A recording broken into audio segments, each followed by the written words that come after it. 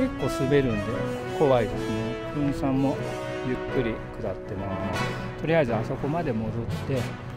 ハロハロちょっと喉ちょっと疲れたんでちょっとここで買い物してからお世話になりました。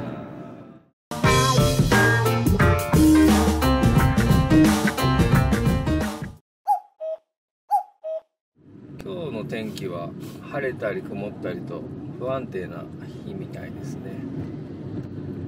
また西へ向けて行けるところまで頑張ってみたいと思います。映ってますかね。今ここはどこでしょう？広島県広島市安芸区近辺でスタートしてから1000キロ走ってきました。結構走りましたがもう少し走ろうと思います。もう少しで宮島という付近ですね。こちらが宮島に向かうフェリー。そして宮島から来たんでしょうね。フェリーです。向こうに見えるのが宮島です。ちょっともみじまんじゅう買って帰りますもみじまんじゅうゲットしました。穴子飯。上野さんで穴子を食べていきたいと思います。穴子飯。いただきます。それでは宮島を離れてまた西へと向かっていきます。あただいま山口県入りました。脇町って書いてあったかな山口まで来ました。何台も連続で山口なのがすげえ891010いった。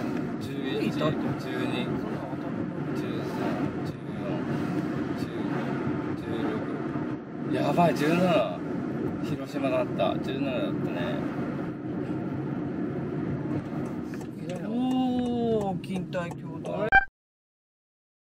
錦帯橋に来ちゃいました。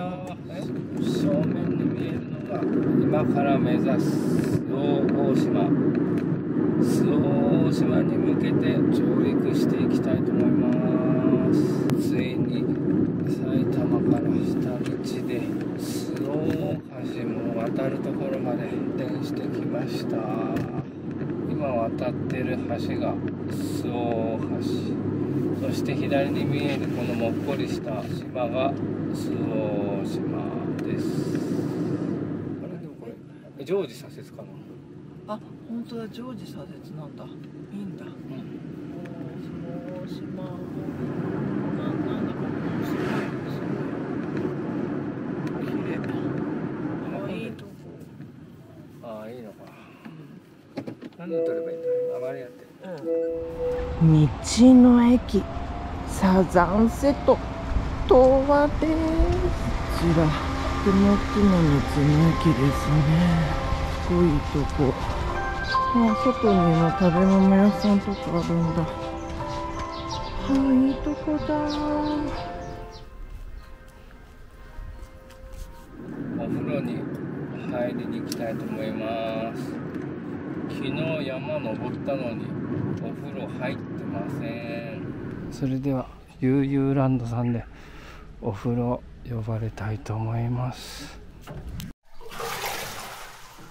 ちょっと A コープでお買い物します。赤木美味しそうですね。ちょっと買ってみよう。道の駅の裏手に間宮島という干潮時歩いて渡れる島があるんですね。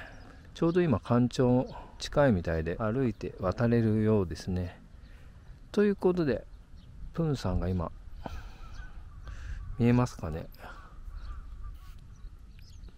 プンさん間宮島歩いて渡りたいみたいなんで間宮島チャレンジするそうです。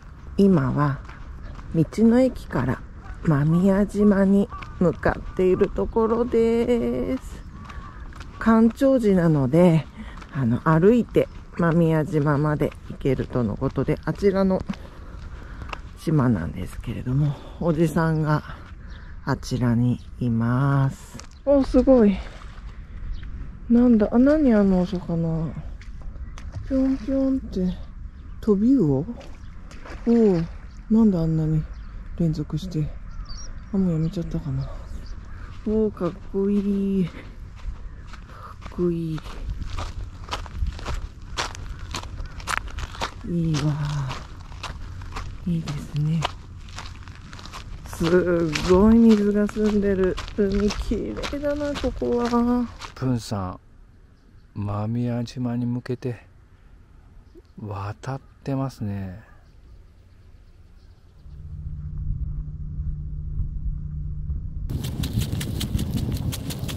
間宮島上陸しました。イエーイ。あちらが道の駅ですね。おじさんがいます。でも何やってるのかちょっとこちらからじゃもう遠すぎてわかんないや。おーいおじさん。じゃあ帰ろう。間宮島から戻ってきました。いやーだいぶ遠くまで今回は来ましたね。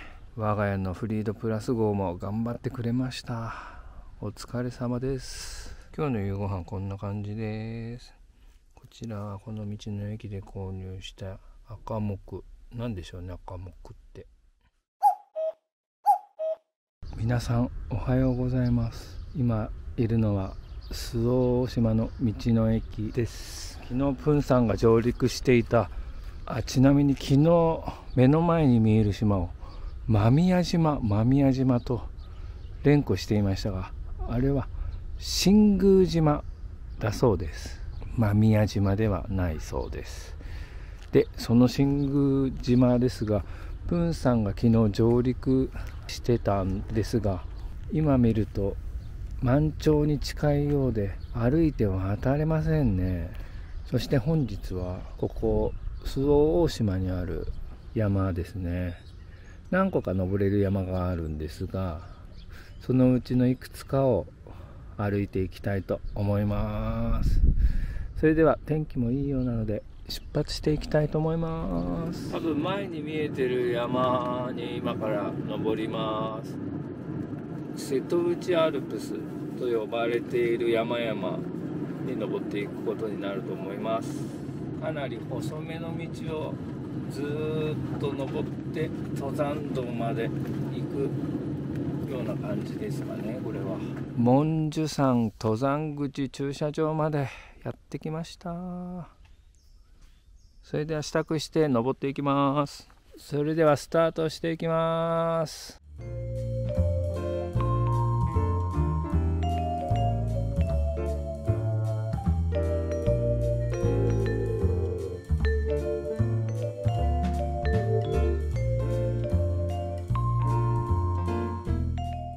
文殊堂に到着しました。よいしょこちら文殊堂です。弘法大師来られたんですかね。瀬戸内アルプスはこういう黄色い表示板で表示しているようです。地図がありますね。すごいなんか古い地図でいいですね。こちら現在地ですね。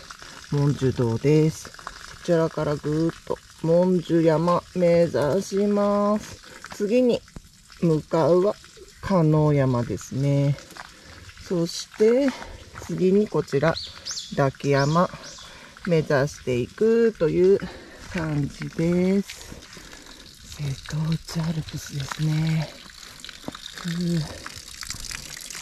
楽しみです。もうおじさん登っちゃってます。先ほどいた文殊堂から400メートル進んできました文殊山までは残り500メートルみたいですね文殊山標高は662.7メートルですね山口県第1個目の山になります本樹山の展望台。ちょっとおじさんも行ってますんで、私も向かいます。すごいなおーすごい。あそこに見える橋。でこの周防大島に上陸したということですね。あの橋です。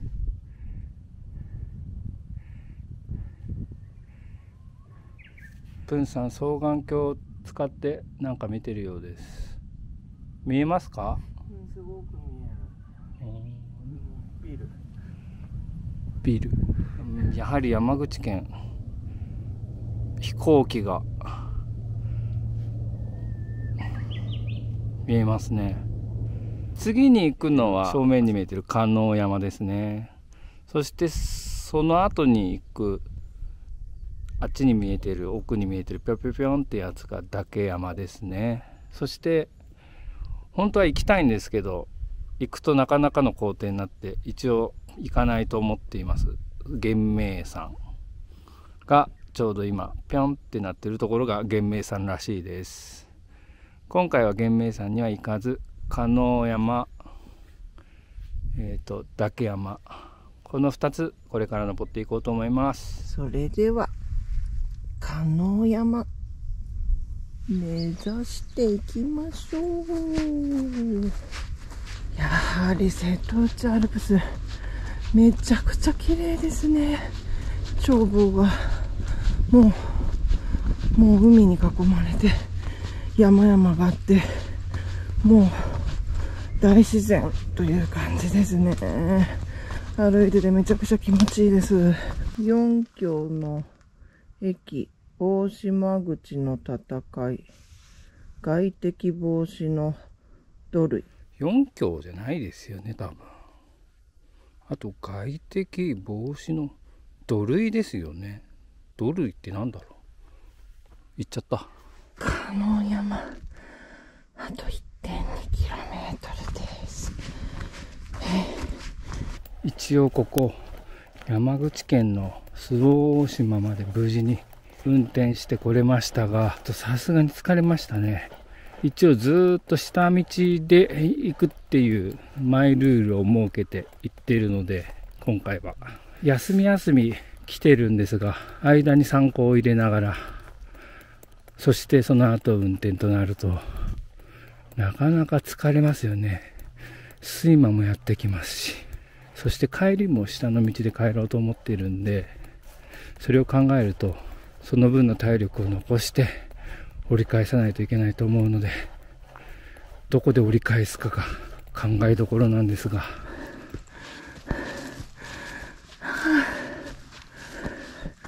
加納山684.9メートルです。瀬戸内アルプス。加納山山頂。絶景だこちらからも。うわトムヤムクンヌードルとココアです。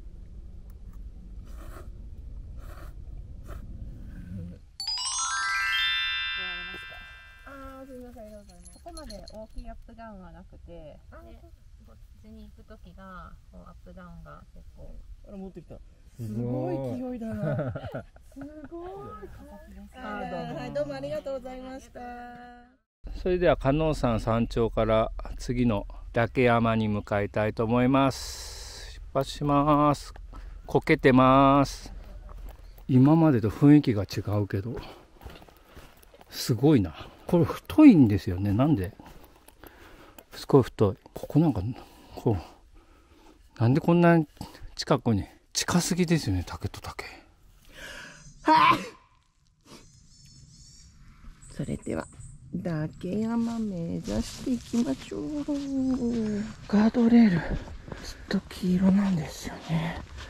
なんでかなって思ってたんですけど瀬戸内アルプスの看板も黄色ですしもしかしたらこれがみかんの色ってことなんですかね。瀬戸内のそういう意味の黄色なんですかね。また黄色いガードレールとテイクオフと書いてありますね。パラグライダーが飛び立つところですかね。とっても綺麗、こっからの眺め。岳山山頂、618.5メートルです。イエーイ。いやー瀬戸内海が一望できますね電線は仕方ありませんが最高じゃないですかこれ。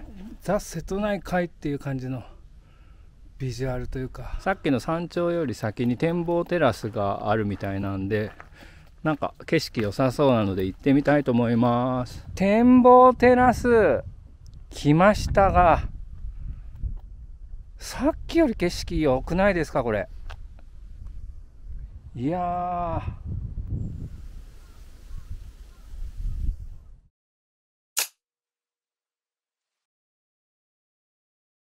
じゃあ瀬戸内海も探訪したんで元いた加納山方面に向かって帰っていきたいと思います。今玄明山に向かってる途中なんですけれどもこちらの山は今回の旅では行くのをやめようかと思っていったのですがでもまあおじさんも私も登れるなっていうことで玄明山登ることにしました。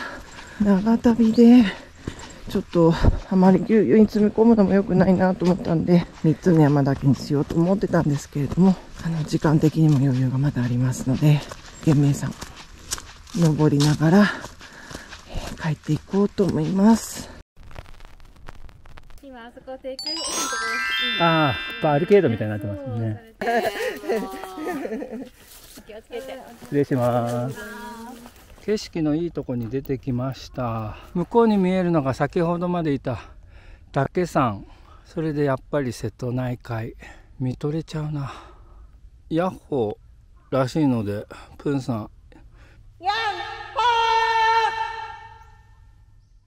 道中の眺望が最高ですがなかなか玄明山までの道ハードですね。アップダウン結構今までのより激しいです。ここ周防大島にある山に関してはどちらかというと奥多摩とか奥武蔵の山と同じような地質なんですかね。あの景色がここ奥多摩だよって言われても違和感ないような気がします。玄明山。あと300メートルです。まだですね。こちらは旧玄明峠だそうです。玄明山624.7メートル。到着しました。イエーイ。ちょっとおやつを食べていきたいと思います。それではそろそろ玄明山を下って帰っていきたいと思います。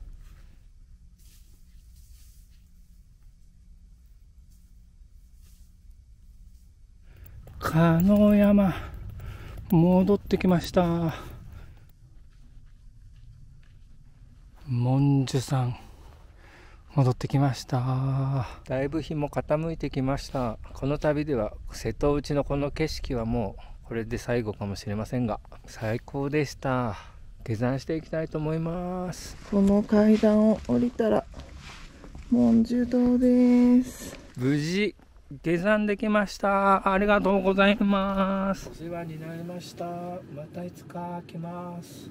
今夕方の5時ぐらいなんですけどやっぱりこっちに来ると日が長いですね。まだ太陽はかなり上の方にあります。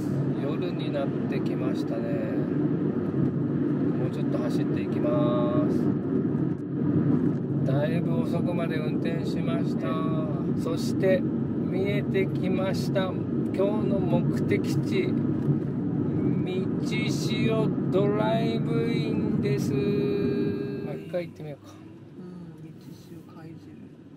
もう結構混んでる。こちら貝汁で有名な道潮ドライブイン。本日はお世話になります。それではまず早速腹ごしらえで貝汁食べに行きます。早速食べたいと思います。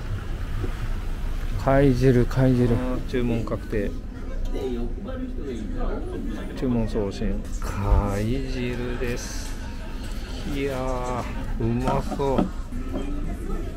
美味しかったです。こちらのドライブインはお風呂もあるんでご飯も食べてお腹いっぱいになってお風呂入らせていただきます。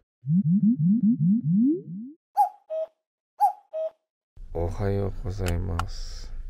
昨日の運転に疲れて寝坊してしまいました。お世話になりました